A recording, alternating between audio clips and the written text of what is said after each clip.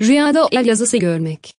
Derleme, el yazısıyla bir şeyler yazdığınızı gördüyseniz, insanlar içinde konuşmanıza dikkat etmeniz gerektiği anlamına gelir. Sözleriniz başınıza bela olabilir. Rüyada el yazısı kaderle yorumlanır. Rüyada yazı yazdığınızı görmek yapacağınız bir iş hakkında düşündüğünüzde ve karar veremediğinizde, size verilen bir yazıyı veya gelen bir mektubu okuduğunuzu görmek, eğer yazı okunaklı ise, hayra, okunmayacak kadar kötü ise, yapacağınız bir isteser delalet eder. Silik ve adeta görünmeyecek kadar belirsiz bir yazıyı okumaya çalışmak birisi tarafından size önerilen bir ise yapmak istemediğinize.